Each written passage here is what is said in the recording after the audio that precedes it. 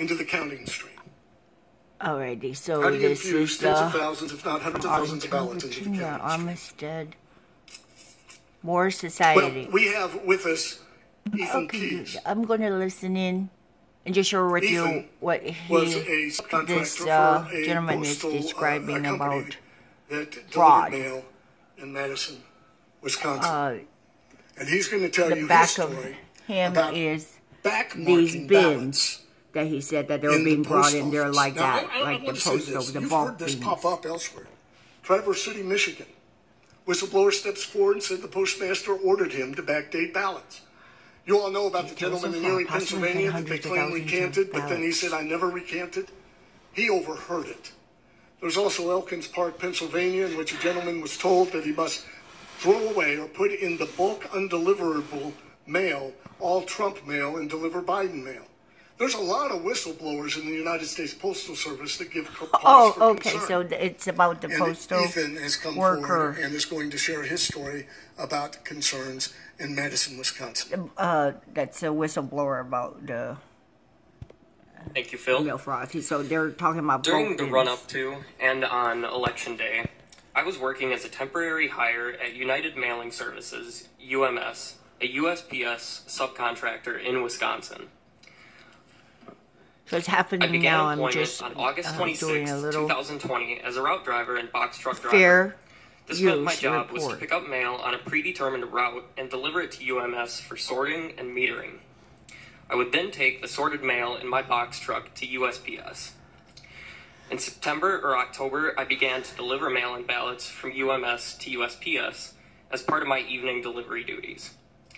I knew this because there was special bins marked for ballots only. On one occasion, I forgot to retrieve the ballots for transportation and had to go back for them. After that, I always made sure to check that I had the ballot bins loaded for transport. On November 2nd, 2020, I noticed that there was only one ballot in the bin for delivery to USPS. And on November 3rd, Election Day, there were no ballots in the bin for delivery. One can imagine my surprise then when the next mm-hmm. day, November 4th, I was asked by a senior USPS employee named Monte if I had forgotten any ballots the night before. Monte explained that an order came down from the Wisconsin Illinois chapter of USPS that 100,000 ballots were missing. Monte then told me that his post office had dispatched employees to look for the missing ballots around 4 a.m. Oh, that really makes you feel and good about seven or eight mail in ballots, huh? Based on my previous experience and habit of double checking for ballots, I believe that to be a lie. Following day, November 5th, 2020, I had a conversation with a different USPS employee named Rachel, in which she admitted that USPS employees were ordered to backdate ballots that were received too late to be lawfully counted.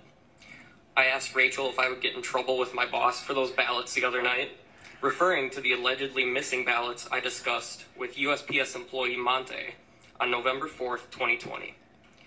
No, you wouldn't, she responded, as long as they were postmarked for the Ooh, third. storm is She coming. "That's why the they had storm is coming.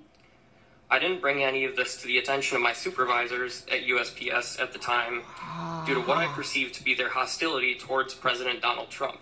Whoa, I experienced that. They won't even mail my those package. same two post office I stood in line. The lady said, "What? You got a Trump shirt on? Get outta and here." Throwing them away. I'm not a Trump supporter. I'm not a Biden supporter either. in fact, I didn't vote for either of the main candidates. Oh no! But something profoundly wrong occurred take a in stand. Wisconsin during the presidential election, and the American people have a right to know about it. Thank you.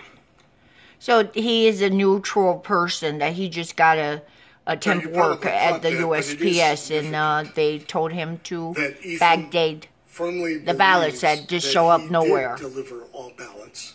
He said uh, he did it right. Postal Uh, workers claimed at a time when they were told to round up 100,000 ballots, found ballots within the stream of mail that he was responsible for. wow! So, Hundreds of thousands of ballots just showed up out of nowhere.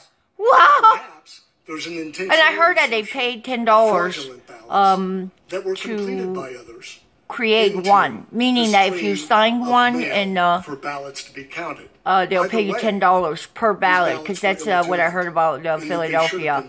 They paid like four 4th million dollars for, November 3rd. I Now, guess, millions of ballots postmarking the mail is a crime. to be forged. People don't do crimes idly. They do it for a reason. They do what it for a reason. What is the reason? The reason. What could be the reason? Yes, tell me. Tell I me. Tell me. Turn now to Jesse Morgan. Oh, And I want to set the scene a little Wow, bit. and look at these bold my, bins. Uh, initial interview with him. That's frightening. um, in which Colonel you don't know what's in there. accompanied me.